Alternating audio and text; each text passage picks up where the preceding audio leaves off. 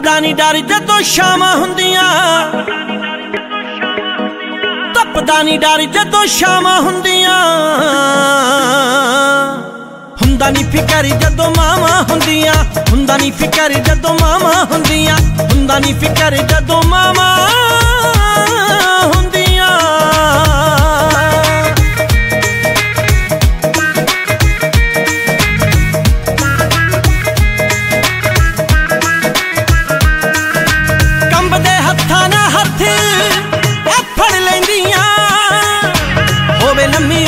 ਸਦਾ ਹੀ ਕਹਿੰਦੀਆਂ।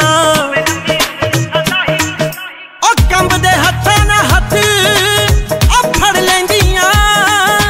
ਹੋਵੇ ਲੰਮੀ ਉਮਰ ਸਦਾ ਹੀ ਕਹਿੰਦੀਆਂ। ਫੇਰ ਦੂਰ ਕੱਤੀਆਂ ਹਵਾਵਾਂ ਹੁੰਦੀਆਂ, ਫੇਰ ਦੂਰ ਕੱਤੀਆਂ ਹਵਾਵਾਂ ਹੁੰਦੀਆਂ। ਹੁੰਦਾ ਨਹੀਂ ਫਿਕਰ ਜਦੋਂ ਮਾਵਾਂ ਹੁੰਦੀਆਂ, ਹੁੰਦਾ ਨਹੀਂ ਫਿਕਰ ਜਦੋਂ ਮਾਵਾਂ ਹੁੰਦੀਆਂ, ਹੁੰਦਾ ਨਹੀਂ ਫਿਕਰ ਜਦੋਂ ਮਾਵਾਂ